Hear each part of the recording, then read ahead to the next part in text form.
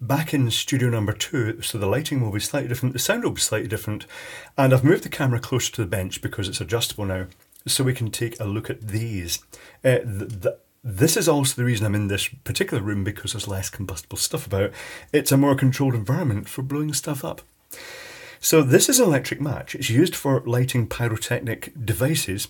I've shown these before, but uh, I'm going to do an interesting experiment with them. The idea is that if you've got uh, a fuse for the firework, you can slip it under this red cover, slide it up against the match that locks it in place, and then when you apply current across this, it will trigger it. It will uh, cause that to explode in there and light the uh, match, which is usually a quick match designed to actually ignite the firework almost immediately. And these things, uh, well, let me draw, draw the inside of one. If you were to take one of these devices apart, because I've taken the cover off this one, it looks like a little piece of circuit board material with copper on both sides. And that's the front of it with the wire tacked on and the sort of, it'll have a blob around the end. But if you looked at it from the side, you would see a little heater wire going over from one side to the other. And then you'd see a solder blob here for the wire going away. And then this would be dipped in an explosive compound and then dipped in a lacquer, uh, possibly nitrocellulose lacquer, to seal the water out and also just help with the ignition. And the idea is that when you fire these, they make a bit of a bang and they fire. So let's uh, let's actually fire one right now. But before I do that, I'll draw one more thing. This is a device used to connect these together because these are connected in series. I'll explain why in a moment. Uh, and this is a common telecommunications device, and inside it is a metal plate with a couple of slots in it. And to join a wire, you slip the wires into this like this. It's got two little ports and a little plastic plunger. This is a really standard telecommunication connector. And when you use the correct set of pliers, sort of blunt end pliers with a sort of spacer, and you squeeze that, it goes down to the click and it not only pierces the insulation of the wire and bites into the inner copper core, but it also squishes a sticky goo, a sort of a dielectric gel out, and that makes it completely waterproof. It is designed for telecommunications. In the case of pyrotechnics, it gets used once, which seems a bit wasteful, but given the cost and scale of pyrotechnic displays, it makes complete sense. So let's uh, blow this up now. And to show you how the current affects the operation of this, I'm going to put a meter in series so we can actually watch the uh, current going up. Now these are designed to trigger at round about 500 milliamps. So let's do that. And I want to point out at this point in time there is going to be a loud bang. This is going to blow up and it's going to leave a sooty skid mark. So there's going to be even more noise because I've got a bench power supply here that has a fan in it. So uh, let's uh, select current. Let's turn the meter on. And we shall select current mode. I'm going to start turning it up. So 20 milliamps, 30 milliamps, Let's go all the way up to 120. You seeing this okay? 180. And keep in mind, this should fire around about the 500 milliamp uh, mark. So it takes quite a bit. So that's uh, 350, 400, 470, 480, 490, 500,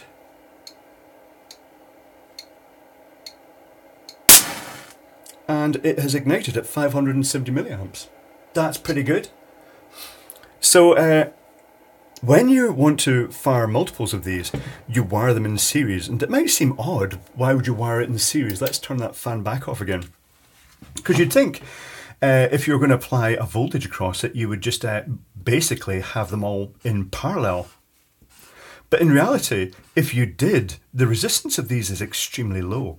It's, it's only about 1 ohm each. So that would very quickly mean that if you had a long run of cable, you'd have to pass a really high current. The losses in the cable would be enormous. So what they actually do is they wire them in series. And then you think, but doesn't that mean the first one that blows actually breaks the circuit? Well, not necessarily, because initially, let me uh, get the meter here and we'll do a continuity test and see if this one has remained intact. Let's uh, stick the meter onto continuity.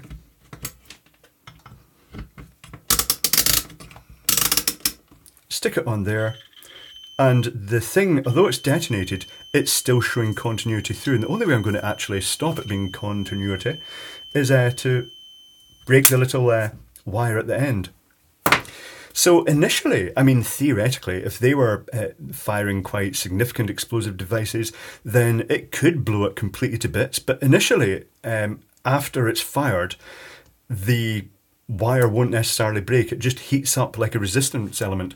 So I'm just going to set this up now. I'm going to actually wire three of them in series to show you that. So now I've got the three in series and I'm going to try, I don't know if this is going to work, I'm going to try and fire them with a 9 volt battery. It should work because it's a fresh battery, but it depends if it can put out the required current. So three, two, one, and all three of them fired. Excellent. Now I'm going to set it up with another three in series, but we're going to increase the current slowly and see what happens. In this scenario, I've got the three in series and I'm going to increase the current slowly to emulate a misfire where it's potentially possible that one of the devices fires and does blow itself clear before the others have fired. So more noise in the power supply here. Fan running. Power supply, selecting volt, selecting current, decimal place, and let's start running it up. So let's run it up to 200 and 300 milliamps.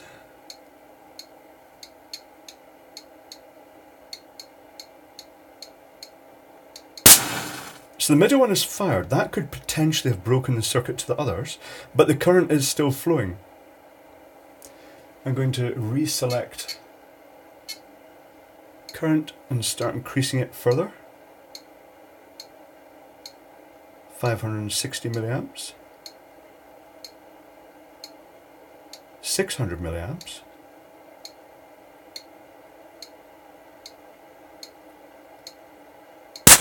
700 milliamps. The two of them uh, that have failed already are still passing current. 760 and it blew at 780 milliamps. And the current dropped down, so it actually blew clear. That's interesting.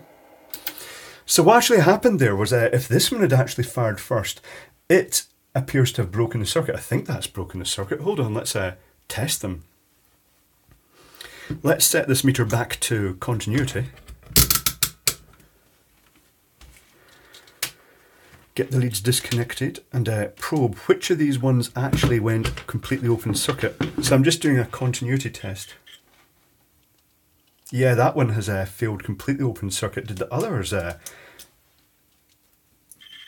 that's still con continuity, and that's still continuity.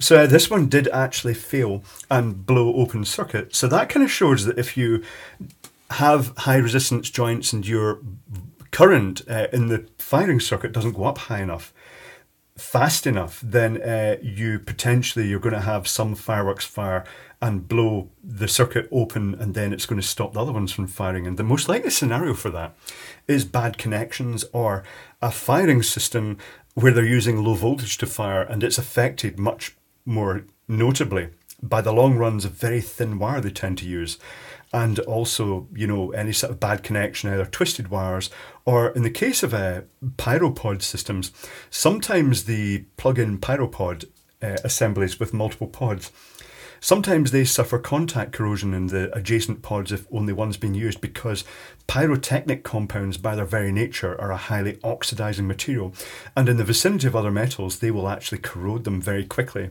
with the residue from during, particularly the flash that's coming out from the explosion.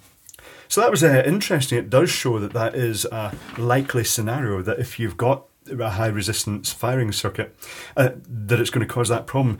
And most uh, testers do most pyro systems do have a either at the very least a buttoned press that lights an LED to show the circuit is complete.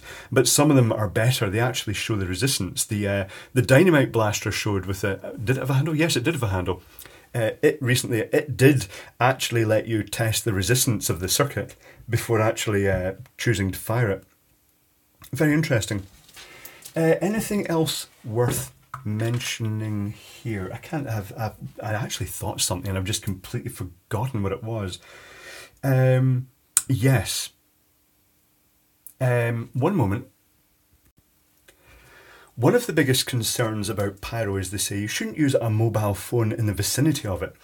And they're kind of working the basis that you could induce current in these, but keep in mind that if you've got a wire running out to the charge, which has a very low resistance, it's about 0.51 ohm, then to actually induce over 500 milliamps, half an amp in that cable for long enough to heat that wire up and fire it would suggest that, you know, that was a really high power transmitting device. Particularly, yeah, it's a kind of an unlikely scenario.